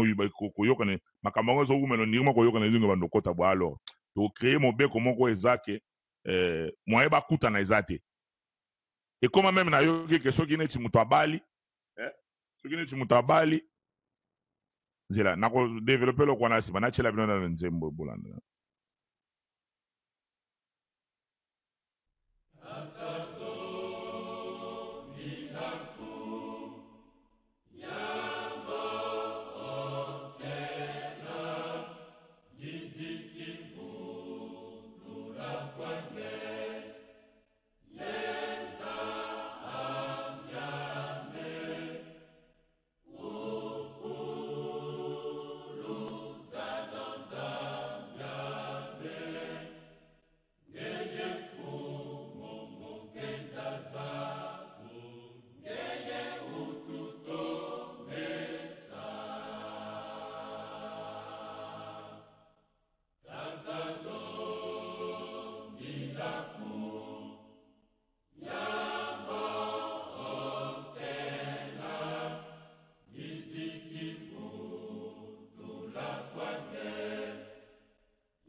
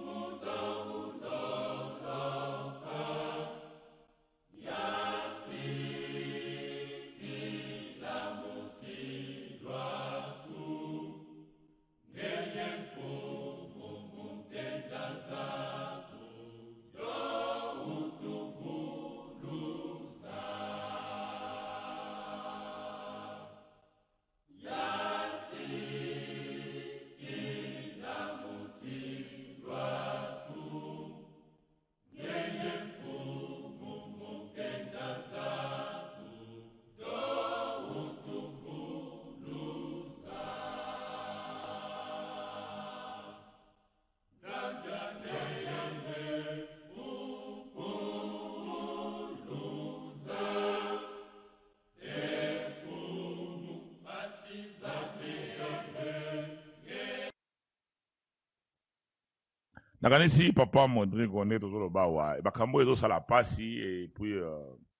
nakanisi toyoki eza ntango moko ya kozala vraiment na mabondeli bato oyo bolobaka awa tosambela kaka tosambela oui kosambela ndenge ozoyoki wana na banzembo sambela e na mayele ya kibomutu boye mpe luka osala nini okoki kosala mpo na papa simo kimbangu mpo na koluka kochange makambo moko boye ekochange yango moko te Tango yo ozo zela, yeba que page ezo baluka, mokili ezo zonga sima te. Ozo ko kende liboso et puis ezo kende na vitesse. Vitesse wana eza ko kende na ngo, chance ezali que soki to sali keba te, to sali passage ya vide. Passage ya vide ko oyo que o tiki rien. Batu sikoyo bako ya sima bako moluka ba kangisa kangisa makambu ya ko kangisa. Ba kangisa kangisa. O tiki pena vide. Ba bi que tata moko boye eloko bako tiki, o tikela batu kaka eza ba photo na libumu nene eh. ba, ba photo na libumu nene olata ba veste ozomona soki bozaka na ba voiture ya bien soki pe lupango ya bien okotika yango akotika otika eloko mosusu te ozomona otiki eloko mosusu te tata nzambe apesi yo badon bacapacité bamakambo nyonso oyo okoki kosala ke ochange mpe mokili ochange mokili a partir na yo likambo moko mpe echange me yo sikoyo ozotala na nsima na yo o oh. sikoyo avant nasala likambo mpo motu moko azala na ngai avant nga na banda ya likambo oyo fo nazala na kingandi fo encourager ngai ozomona yango tomonaka lelo oyo bato bakoka kosala eloko te parce que azotala fo nano bato moko ba approuve yango babeta cachet soki azotala bo azobanga banga ozomona ndenge bautaki komona emission mama euh, regine euh, auti kosala awa emission na ye à votre écoute auti kopresente wana bato ebele mpe baza koya kozwa audace mpe ya kokritike oh moni falaki place a falaka tya nde omoni falaka aloba boye azo critique ozomona or ye afandi asali rien mais ye ba initiative abandi okomona moto akoya kozwa ola encourage akoluka ke a decourage oh omoni omoni nasepelaki te falaki nde falaki boye omona ye sikoyo juge de touche ye amonaka makambo ya mabe bongo yo osali nini yo nanu osali nini oyebi kaka kolia mikate eh? na omela bakoka biloko etoni baproduit chimique wana yango kaka eloko oyo oyelaki na mokili oyo okanisi mikate kaka oliaka mikate na kodefa biloko makelemba tusa yango kaka oyebi osaleli papa simo kimbangu nini tuna nanu ti te papa simo kimbangu azopesa nga vi nasaleli ye nini osaleli ye nini Batu oyo basalaki oyo yo oleo oza nango lelo oyo na tangeli bino awa bomonaki awa eglise kimbanguiste awa ezalaki eglise du christ sur la terre ekomi kintoadi ekomi kimbanguisme ekomi ekomi lokola mouvement ekomi christianisme prophetique simon kimbangu basimba oyo mabe ekomi eglise de jesus christ sur la terre par euh, son envoyé spécial simon kimbangu yo kanisi makambo wana nyonso ezalaki ezolotama ezoya boye tusa me bato bazalaki kosala yango bato bazalaki kosala yango Bato yango mosusu baza, yo okomi deja, okomi deja mobange, bato wana bazalaki bana mike oyo baza kosala yango. Yo osali nini? Yo moto ya mayele. Olobi ko ngai na abo na ba diplome boye, omoni biso bato bafandi, bato yango na ngai na diplome boye. Ngai na osali na yango nini diplome na yo? Osali na yango nini? Na kolia mikate? Na kozwa biloko ya ba credit? Yango ozo mimona moto monene? Oza rien. Aussi longtemps okosala pasi moyo mbango eloko te. Donc oza rien. oza kutu rien te oza na se ya zero toluka tokoma ata likolo ya zero oza na se ya zero osala eloko te tozokumisawa papa simoki mbangu papa simoki mbangu papa simoki mbangu mosu akoloba omoni nga ba omoni fo kokoma omoni biso fo kokoma omoni fo koteya bato ya mokili bato ya mokili oyo bakoteya bango wana mpo bakende wapi na ndako na yo eza nanu ya kopola oya kolalisa bango wapi oza koinvite bato baya na ndako na yo oza kutu na ndako tozaka ovandaka na studio soki olalisa bango wapi oza na studio chambre eza te cuisine kaka wana salon kaka wana douche kaka wana sikoyo ozo invite bato ebele bakofanda wapi ebongisa na ndako na yo ndenge tozoloba wana na 26 tolingi bomoko tolingi bomoko kasi bomoko fo ebanda nanu na 26 fo bomoko ebanda nanu kuna nde boluki bandeko ya trois soki na trois balobi ah, biso bato toza bato fo na trois bolakisa mpe nanu exemple bolobi biso toza ya nzambe mboka ya nzambe botika kotonga bandako ba bato mwa to bapayote lokola mayebo ezobota soko neti oza na helicoptere mosika ota lobi o oh, oh, wana mayebo bie nini ozomona to bandako ndako ndako ndako ndako ndako fo ezala esika mo bazotelemisa bina bagrade ciel moto atali ba wow ondimi mpena moto afanda na amerika afanda na kati ya new york soki akei na nkamba kuna akosala wau non akosala wau te place oyo tozokosa yango nsima nsima nsima nsima lobi lobi kuna ekozala nyonso ekomi nsima nsima akokoma boye azomona batongi yango ye lokola moto alingi ameka kosala eloko me eza lokola neti ya pirate na yango ozomona place wana fo toyeba ntango tolobi tokobeta eloko oyo emoboka nzambe fo mpenza motu meme bato ya awa balobi wau nano tomona makambo oyo te bakuti mpenza teknoloji ya sika o poste ba surveillant na nkamba immeuble moko ata mosusu omona ata mosusu ya 10 etage wana eza poste ba surveillant likolo wana botie ba antenne parabolique botie ba antenne soki ya nini ezwaka soki mokili mobimba voilà internet ya makasi tout ça boza na courant na bino moko makambo nyonso ya bino moko voilà donc tozo goute goute tozo meka mpe toza na fiere koloba ke wa mboka ya nzambe yo oyebi en tout cas awa wa bato bazosala pont omoni journée moko pont wana esili lobi nango bakare eleki ozomona bato niveau bakomi nango soki biso meme tokoka kosala yango te mais tozwa mbongo boke bozwi meme bachinois bozwi soki combien 30 million yango wana bopesi bachinois boyela biso technologie wana botyango est ce que toza capable ya kosala yango te Tolobi tolona tobokola tokolesa mokili ti lelo ba maman bazosala na bakongo tokolesa mokili bazosala na bakongo mais okoya na ba californie okokuta bilanga moko tala ba kilometre siko yo oke kuna ozobisa bato ko biso omoni ya mboka nzambe omoni bato mosusu bazokanisaka omoni ya mboka nzambe omoni omoni lisango ozomona oyo kaka lisango moko oyo kolesa famille mobima soko moto akomona ndeko ozosaka na ye yo olakisi moto lisango ozomona lisango oyo ezalaka kuti na mboka nzambe donc soki nalambi yango elesi mokili mobimba moto afandaka na poto azo raisonne ndenge wana donc ndenge eza wana lokola linyoko wana ebimi ebotameli na nkamba donc ndenge eza wana donc lokola eza kaka moko donc eza deja e, eleki meme basaki ya soki nini wana ata donc moko ya wana soki olambi yango eh, ah, ozomona me moto akoyebisa yo okokipe moke wana te soki olia yango ndenge kale balobaki te Ba ndoki ba komi si ba barre de fer macaroni ba komi si ba cayas madesu donc nga na bakisaki peut etre ne ma sima eza ba milk donc zelo eza ba sukali zelo eza ba sukali sikoyo mapa na yebi te soki ekozala nini mapa po ba mabaya sikoyo fo ezala eza ba ba ba mabaya fo ezala ba ba makayabu voilà ozomona et puis moto afanda na poto aza kondima yango azondima yango azomona mpe eza makambo ya solo ozomona na nde bato bazo raisonne mboka nzambe bolobi mboka nzambe nyonso wana mpo na nini manke ya moo ozomona nyonso wana mpo na kozanga kolonga nyonso wana ezali mpo na bondimake makambo papa papa simoki yanga nalobaka eya makambo ya solo aussi longtemps tokabola bango tokobanda kosalaka na biso kaka boye totonga nkamba na tumwa tuba bandako ya mike mike mike mike mike tokaso ndenge totonga solo totonga te totonga te E- eloko te eloko esesami kuna te bino bokanso ndenge kamba ezotonga te te e, botonga te eloko te totonga te oyo wana eza biloko moko motu moko akuti na poto awa aza na mwa mbongo na ye abeti kaka boye obeta mwa payota nde wana nalinga namona kutu payoti moko bokoti kuna moto otambola ozolemba te olembi mpena otambolaka na kata payoti voilà eza na babiloko ya mystike na kati kuna voilà toza na kati ya payoti wana boba payoti eza te na se ya mabele okebima kuna soki na wapi voilà mais tozo beta eloko moko boye oyo individu moko boye azalaka na adebiraka na ye aye na poto awa adebrie na ye ake abeti mwa eloko na ye moko boye tozolia espace babiloko wana eza biloko ya koboma kolongola yango tika meme eza ata ndenge wana so moya kotonga eza te tika yango tika bongo tika mabele wana bonivele banini wana bonivele nivele awa yokanisi bato oyo bakoya awa lobi awa bato bakouta bato ya mbongo le bakokende kuna bakosani atali bandako boye ata ah, Oyo oyo oyo su nini oyo biloko nyoso nazo mona fo bo ingenieur moko ya chinois akomi kuna bi biloko nyoso fo tracteur eya eboma yango ba ba nivele nyoso wana ale ba tongi sikoyo ya sika se tango yo oza ozo sala ozo mona kwa mboka nzambe mboka nzambe passage ya vide Papa Pedro to kote biso wana na biso banda kolanda biso. Na yebi te na nyoso yo landi awa. Na yebi ko moni eza pasi ya moto akofanda oh omoni biso na 26 omoni bo te makambo yo tozo loba ezo kende na batu kote nyoso mibale po to yeba ndenge ni toko ko kende la po to sala o papa simo yembanga lobaki. Yo ko loba nini papa Pedro na makambo yo ningo banda kolanda biso de pika. Oui, merci Papa Joe. Bonjour Papa Modrigo. Merci mingi na ndenge bopesi ngai liloba. Lelo esengeli toyeba likambo moko,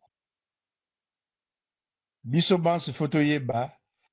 nanu volonte ya papa ezalaki nini avant tobanda kozwa makambo na biso nyonso oyo tozali kosala lelo. Il faut toyeba volonte ya papa ezali nini. Tokoki jamais kotombola mosala ya Tata Nzambe na bokabwani. Lelo tomoni 15 ans après, toye komona ke na bokabwani eh, tokosala eloko te. Tozonga maloba ya liboso Papa Simon alobaki. Soki bozali kokabola ngai na bandeko na ngai eh, bokolukila ngai, eh, bokolukila biso echec. Lelo tolinga tolinga te, maloba wana ezosalema ko. Parce que papa fumalonga alobaki naza je suis le gardien de mon frère lelo lokola tosali nzambe na image na biso et voilà lelo tozomona oyo tozomona ozomona donc fo tozo pa, pa marto alobaka tozonga bandimi mais pa michel aye koloba hein, avant tozonga bandimi il faut toyeba nanu eske na tozalaka bandimi parce que soki tozalaki na biso bandimi te sancera te tozonga donc tokóma nanu bandimi après ozomona donc lelo ah. il faut toloba to, to, to, to na malamu meme bandeko baza na trois bajeune il faut tolamuka batika ah. kokosa biso na bamiete donc faut totala to aborde yebaka na tango kutu paf mambanza azalaki na biso na soki okoti na ligne okomona nga naza na ligne tango paf mambanza azalaki na biso de 92 ti 99 lingomba ebanda kotambusama na ye te nabaki nango nazosala émission ocheke na ligne te ozobenga nga ozokota na ligne ntango ezosone bato bazoyoka ezosone oyebi mpe eza likambo moko spécial papa jo papa jo maki micro na o donc voilà yango wana okay. donc il faut tozonga tozonga bandimi biso banso soki tozalaki nanu bakimbangisi te eh, tozonga tokoma bakimbangisi après tokomi bandimi eza simple lelo papa pelude papa pelude sans quoi maloba eloko nini ezobebisa 26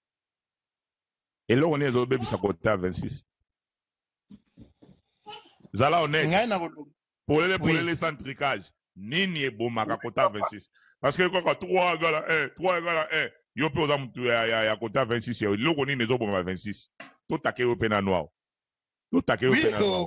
asi batatua basepeli eh, eh, toyoka pe lelo ya toyoka pe lelo eloko ezo bebisa kota eyinda lelo awa ndenge eza boye esili ebebele ekobebela yo lelo awa eloko nini ezobima pe kota 26 parce que lelo ezoka nkamba nkamba nkamba nkamba eloko nini ezobebisa 26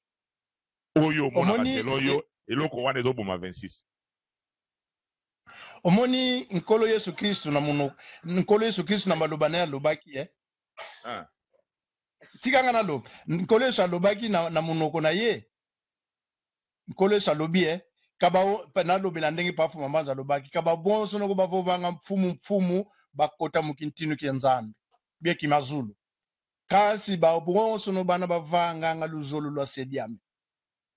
ozolanda orepondre te orepondre te eloko nini ezobebisa 26 natuni yo makambo ya matie te natuni yo makambo ya nkolo yesu te nalobi eloko nini eza kobebisa 26 omoni na repondre yo eh. nalobi boye 26 ebebi nango te bato nde bato baza kobeba na bango Non, na, Zoland, bon, hein? nabandela question na ngai eloko Ok. nini ezobebisa batu oyo baza na ngambu oyo balobi 26 egala 1 eloko nini ezali hypocrisie hypocrisie hypocrisie na ndenge nini oh okopesa Eloko- exemple moko okopesa ngai exemple moko ezolakisa hypocrisie mais hypocrisie ezali hein ozoloba makambo oyo ozokanisa te nini nini oyo omoni etinda yo olobaka hypocrisie exemple neti nini esalamaka oyo omonaka likambo wana esalamaka pai na yo interpretaka yango lokola ezalaka hypocrisie likambo nini likambo olingi mema na elobi na ozo mama nkita sevila esuki kaka na koseka nkita sevila eza kosevila mpenza nga nalobi soki nalobi soki nalobi ezali hypocrisie Et soki nalobi ezali hypocrisie parce que tozali komona na makambo bato bazali kosala. Koloba to te, yo nde. Yo moto ozoloba awa. Koloba kosangisa bato te. Nini non. oyo ozomona to omonaka esalamaka oyo oyo ezokointerprete lokola hypocrisie? Likambo nini? soki nalobi namona na olingi eh, na na na pesa yo eloko moko tozoloba kosangisa bato te eza pedrito moto azoloba eh eza bopinion na yo personnel kosangisa te voilà na bopinion na nga personnel ya nalobi eh na bopinion na nga personnel nabanza nalobaka yango mokolo oyo tozalaki oyo botunaki ngai o oh, soki yo ozopapedo tozela nano repondre nga lelo kokipe lobi te kokipe mokolo kuna te lelo awa yo oza awa Nini yo ozo mona to omonaka oyo ke ezali batu basalaka na veste ozo mona ke eza hypocrisie? Exemple, kozua lobi te lelo te lelo repondre lelo awa kuna soki boza na ba heure oyo toza awa lelo repondre. Oui sikoyo yo olingi na tanga kombo mutu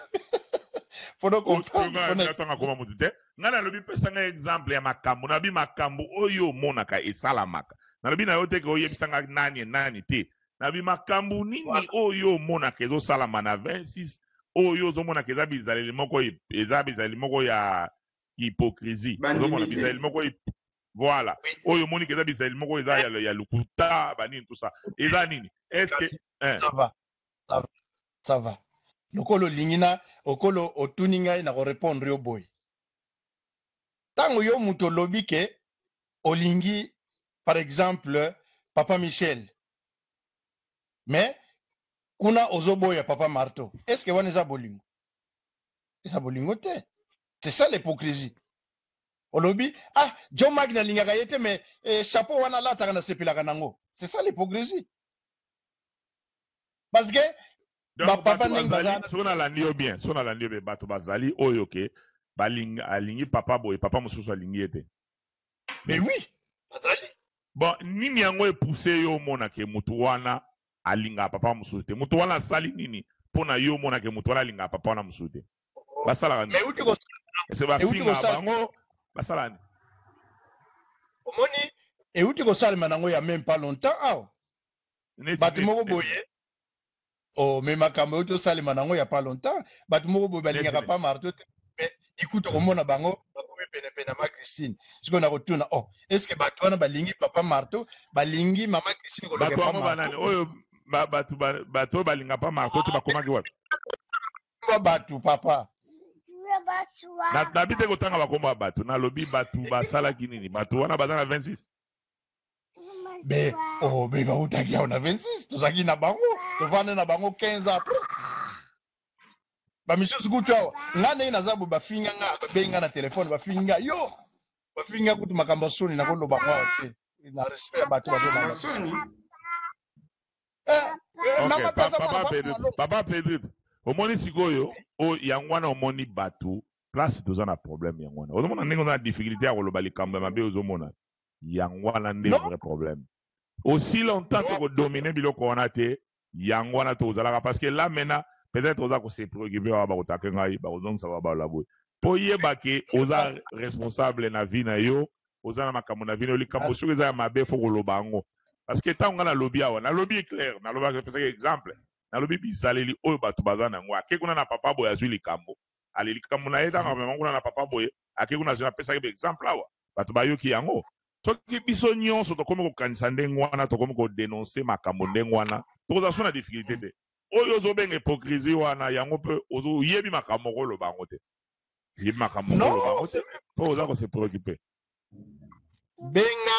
benga bato tovandaka na bango na belgique awa bayebi bayebi soki bayebi pedrito ayebi ke aza moaka ne polele polele Na reprendre lisusu question na ngai. Nini oyo yo ozo komona lelo eza kobebisa na cote ya 26 egal à 1? Eloko nini? Soki batuni yo makambo misato, yo oloba makambo wana olobi eh, soki makambo oyo biso tobongisi yango, o, yo opesa biloko wana neti mwa mateyi na cote ya 26, sikoyo olingi oteya cote ya bato ya 26, okoloba nini? Matei soki na matei na ngai ezali boye na bandeko oyo bazali tozali koloba 26 papa simon alobaka na biso tout le temps mondimi okoki kozala contradictoire te soki olobi 26 egala 1 il faut ozala nango vraiment sincèrement elingi koloba banda na maman kwakiad ti na maman solange mais problème toza nango ezali boye na munoko tozali koloba makambo mosusu ke 26 egala 1 26 egala 1 mais na ezaleli na esaleli tozali kokabola bango ozomona yango nalobaki yango na siko place ngai nazoloba ma ezaleli nini oyo toza kosalaka ezokabula bango eza ezaleli nini ok lokuta vrai maladie toza nango nano eh.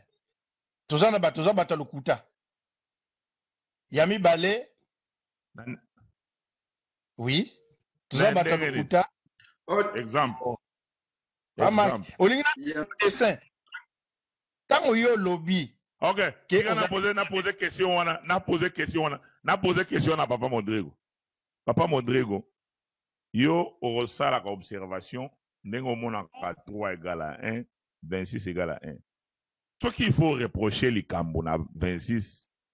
ezaleli nini oyo yo omonaka oyo okoki ko reprocher na yango 26 egal à 1? Eza nini? Wana papa Modric on a posé question.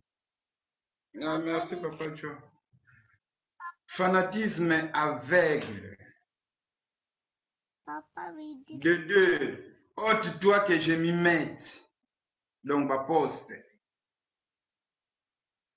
De trois, bolingo quand je parle na bolingo na na na na mwana moko azoloba wana soki bokokanga miko euh, soki nabi bolingo mingi bakokama wapi ah kuna bolingo eza ntango olobi nzela naza mili plus intéressant likambo ya fanatisme wana ntango olobi fanatisme ozosala référence na nini fanatisme aveugle eyali nini ezali ke euh, nte nalobi nayebi fanatisme aveugle elaki nayebi fanatisme aveugle elakisi nini me nalobi ye ntango yo oakize parce que eza accusation oakize eza accusation te constatation omoni mabe ezali nini na constate eloko jakinga nazopoza question nalobi ye olobi fanatisme aveugle bon wana ezali constat na yo ndenge olobi osali constat mm -hmm. constat wana osali yango fanatisme aveugle wana neti na nini omonaka ke oyo okoki kopesa exemple ke elakisaka eza ezaleli ya fanatisme aveugle ekoa neti nini nazwi neti na ye nakoti na facebook nakotanga papa, ma, papa martorel asoki alobi likambo bia atie foto bato bakomi na se nzambe na ngai eboye boye boye mais les memes personnes oyo bakomi nzambe na ngai bango wana pe bazo detruire ye je vais pas citer les noms ota biso koloba banani te les mêmes personnes oyo bakomi na se nzambe na ngai Donc hypocrisie. Nzambe na ngai akomi nzambe na ngai na kati ya, ya, ya, ya culte okomona bango liboso mpenza bazoyemba bazoganga me soki obimi kaka na couloir oye kokuta ye na fopa fopa nini azotonga moto oyo yawe tokumisa et de trois jamais nayoka papa martorel asenga bato ke boloba ngai nzambe Soki bolobi ye nzambe po mokolo mosusu aloba parce que bino pe boa ba nzambe. Nga kuna nabengaka ba yaya na nga nyonso ba nzambe. Mais ce que j'ai pu constater que ba mosusu po na bango papa Marc Laurel ye nzambe mais papa Armand te. wana exemple na pesi parce que ye alingaka na ye kaka papa martorel donc mpona kopesa yo baexemple mibale wana et c'est ce qui s'est passé en tout cas mpo na ngai na kokabwana na kobima ya mama na esika oyo alaki na 26 parce que mama wana mpo na yo eza bizaleli mm. Ma, euh, mama peut-être aconstataki ke te euh, awa ngai on dirait naza na importance mpena mingi te yango papa marto alobaki je lui ai même proposé hein, yaya azala kaka na biso me ameka kodirige parce que mama amonaki ke neti ye batie ye de kote yango bato baprofitaki babendi ye babiyaka tosala move na biso Donc batu wana exemple mosusu eh, na 26 bato ya 26 mpo bato oyo bateyaka makambo ke eh, bana ya, ya basi bana ba, don bamama batosaka ba, ba bango te batosaka kaka bapapa bahypokrite mosusu bango ye wana babi te bana ba, ba, bana ya basi batosaka bango te batosaka kaka bapapa ondire bapapa bamvukaka bato bamama lokola balobaka te yango wana le même personne wana lobi okomona ya ye mpe pa papa marto afukami nga soki namoni yo okoki oza digne te nabenga yo motambwisi na nga na kofukamela yo te alo ntango bayaka kofukama ifo baza conscient na makambo bazosala et na 26 bali ebele yango wana lelo nga na naaloba omoni misala ndenge etelemi mpo durga mpe ndenge eyali wana normalement fo esila mpona tobeta na chita nsima na makambo yango tobandaki koloba durga mpe fo esila mpo soki esili te angola bokende te eske bato bazobouge te et ba tambulisha on dirait bayebaka na bango te ke likambo nini yango ezali na dourdan wana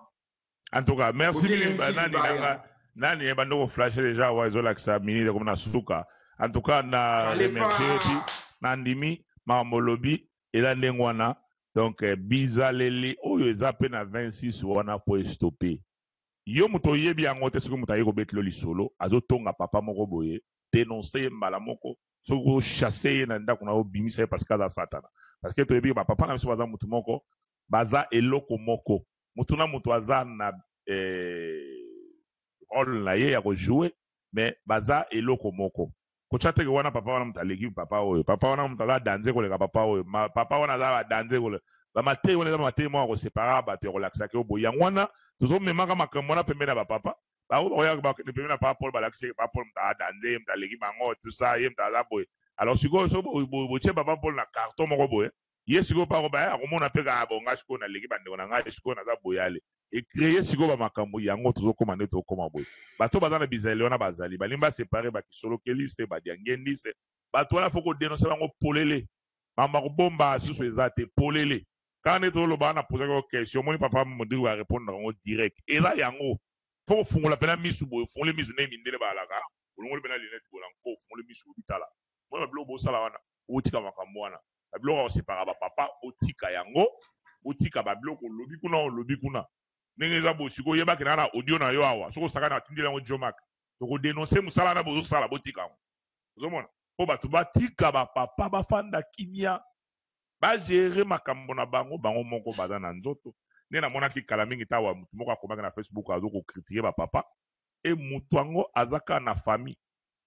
bino bokanisi biso olanda ba papa poto bango baza baza makambo mabe te par exemple ke po bango baza soki ndenge nini non eza po baza ba tata na biso makila ya papa Simon Kimbangu voilà et wana ezali raison